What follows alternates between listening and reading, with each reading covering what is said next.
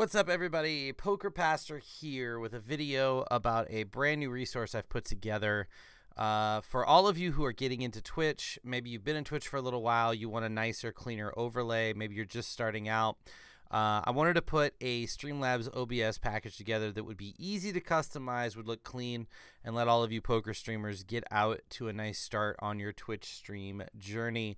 Please, if you get anything out of this, hit the subscribe button below for notifications on future videos and resources we put out. Also, hit that like button. It will help us get the word out about this resource and get more people into Twitch, which will also make all of our streams more successful as well.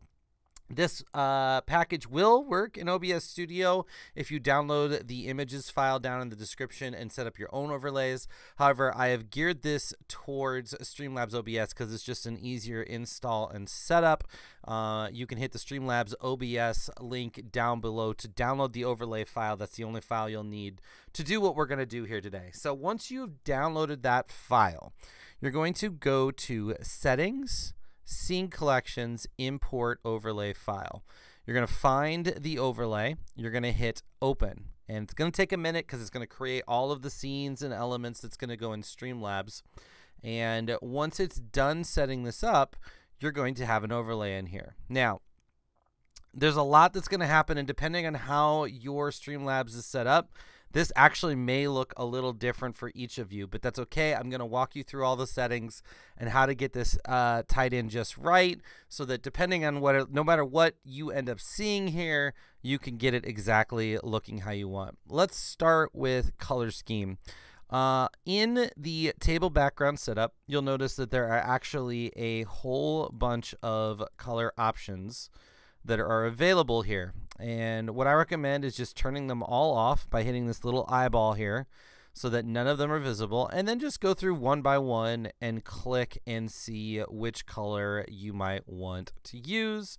Um, there are several options here to choose from. Um, I'm just going to use gray and be boring now uh, for this present setup here. Once you've got this background set up, you'll notice that it shows up in the table setup screen and it shows up in all the table screens. This is the only place you have to set your color. And this entire setup has been set so that you only have to edit things in one place to keep things efficient because it's really a pain if you change your social media and you have to go through every scene and change your social media. So all of the editing we're going to be doing outside of setting up your table screens is going to be in these two screens. So once this is set up, you got the color you want, you're done. We're going to come into the table screen setup. And let's just go uh, top to bottom here. Um, right here at the top, you have your name here. This is your text logo. Now, if you have a color logo that you've already had done and you want to put it here in place, you could obviously just hit the eyeball next to the text logo, make it go away. Put your own logo in and be done. Some people, though, aren't going to have a logo. So you're going to come in here to text logo. Um, you'll have a whole variety of fonts to choose from. I just chose Franklin Gothic Heavy because everybody has it. It's clean. It certainly looks fine. Uh, but if you wanted to use a different font here, you could. And we're just going to put Poker Pastor in here. Um, some of you might want to use all uppercase. You can do that. You can do the text transform. You can also just type it all in uppercase uh, if you want. And then, of course, you have a color you can choose from. So, like if I wanted to use my color and be blue, um, I could pick one of the blues here that kind of look good. Um, I also right now currently have an outline around it just to help it stand out a little bit on that gray background. Um, again, you could get rid of the outline if you wanted and have it without. You could do it with with. You could change the color of the outline. Um, if you guys have been in Streamlabs for a little bit, you know you you kind of have an idea for how all these things work, and you guys can kind of look into customizing this how you want. Once you've got your title in there, now we've got all of our social media icons. Um, obviously, again, if you wanted to pull these out and put your own icons in here, or maybe you just want to choose this and switch the order, you guys can all set this up how you want. But we just set it up with three default icons and text message or areas here, like little text areas. So like social icon one and social text one line up, social icon two and social text two line up, and so on. So you know, if you just started with these three and these three are fine, you could come in here and you could change this to your Twitter name change text2 to your Instagram name. And obviously, most people aren't going to be able to put a Discord link in. So, what a lot of people will do is they will put exclamation Discord. and then you just create a command in your stream for exclamation discord and people know oh i type in exclamation discord and get there let's say you didn't have a discord again just click the eyeball next to these and just have two social media icons and then you're good to go um, I do have a section here for music. Some people won't want to display music, and so again, you can come down here to the music icon and just turn this off. Uh, there, unfortunately, there isn't a quick and easy way that I know of to hook this into Streamlabs OBS right now. Um, a lot of people will download uh, Muxy Ticker to interact with Spotify to kind of put the list up there, and I know there's some other widgets you can use. So again, this is optional, but we did include this option in case people wanted to use it. Continuing on down, the next thing we're going to need is a webcam. Now, I've got a webcam in here. It most likely is not going to show up when you first come in. You're going to have to go into webcam and you're going to have to choose your device and choose your resolution in order to get it to show up correctly. Um, so we're going to just choose 1920 by 1080 um, because it's kind of the same width and height as the camera box. And you'll see it still doesn't show up. Okay, sometimes when you get the camera set up, unfortunately, due to some bugs in Streamlabs OBS, you may still not be able to find the camera as we do here, which is actually a good thing for this video because I can just show you. Just go ahead and if this happens, don't worry, just delete the webcam and go ahead and go to add video capture device. We're just going to re-add the, the webcam in here.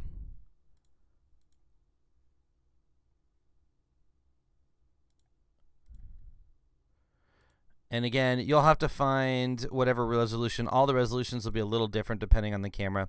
So there we are. Now we are on the camera. I'm going to shrink this down to about the size of the webcam. And then it's very important that you take this video capture device and you put it all the way at the bottom because we actually want this to be behind the overlay. That black box there and the black box you see here for the table is just it's not really black, it's empty. And so by putting it behind, you can see here we perfectly fit in the border here versus trying to get everything sized perfectly. This is just an easier way to do it. So now we've got our camera in place. Uh, let's continue moving down. Included in here right now, we have got this cool little ACR promo. I'm a part of ACR Stormers. Uh, I know some of the people that I'm making this for are going to be a part of ACR Stormers.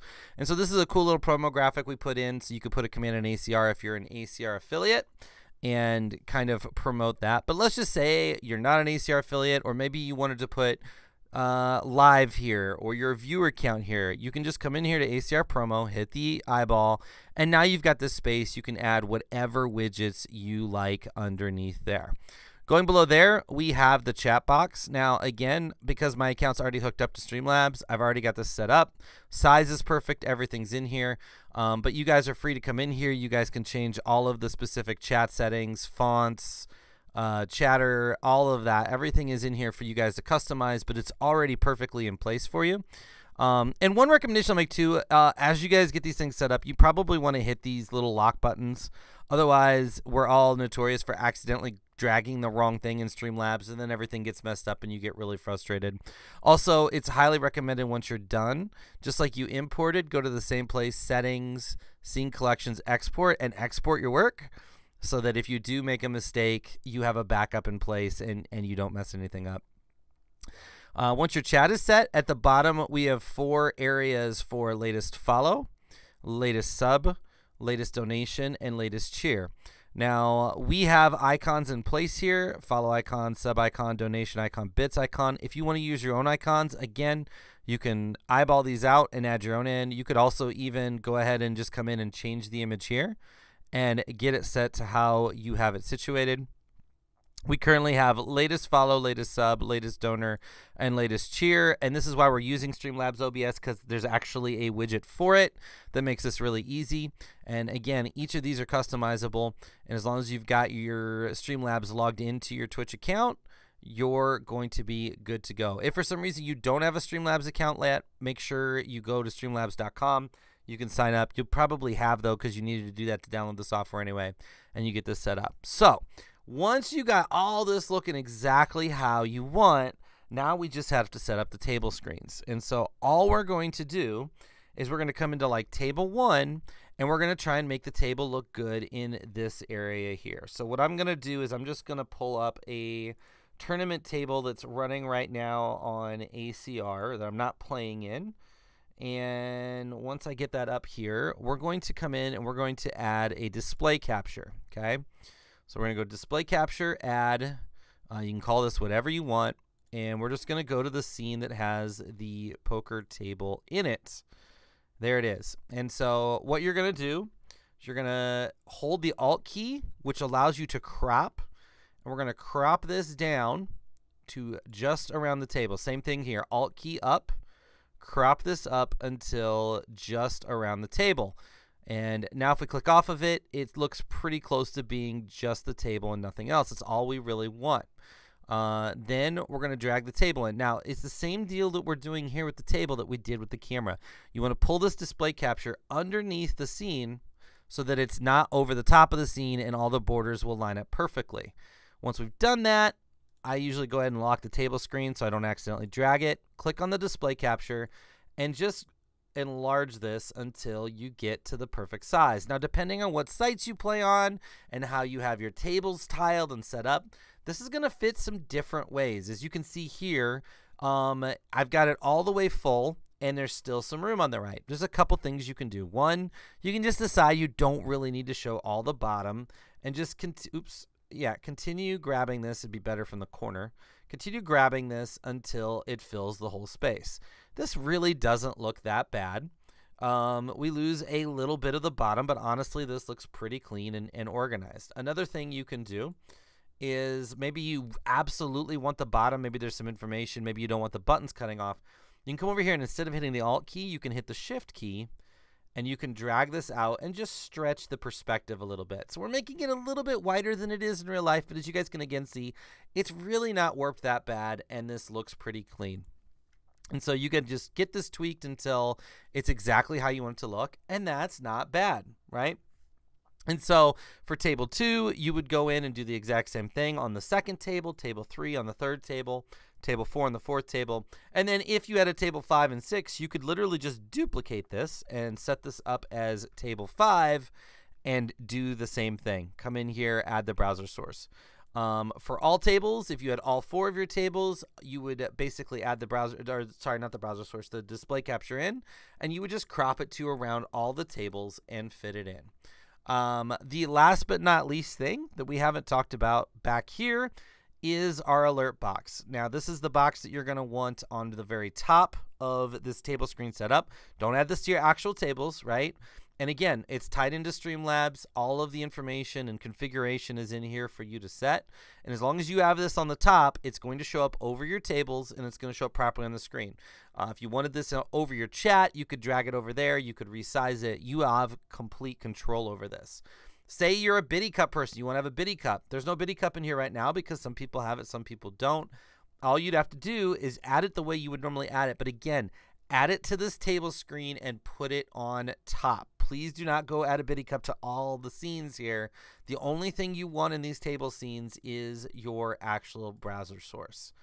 So that's it for this setup. It's simple, it's clean, it's going to give you a nice professional look. It's not the fanciest, most epic overlay in the world.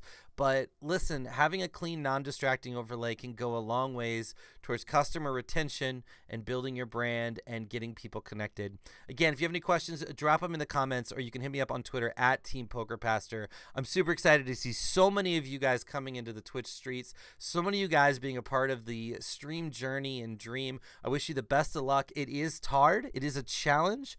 Uh, be committed, be dedicated, push yourself. Uh, but those of you that really put the work into it and really push will find a way to find success and fun in this industry that we are all continuing to create and uh, pioneer. So that's it for me. Thanks, everybody. We will talk soon.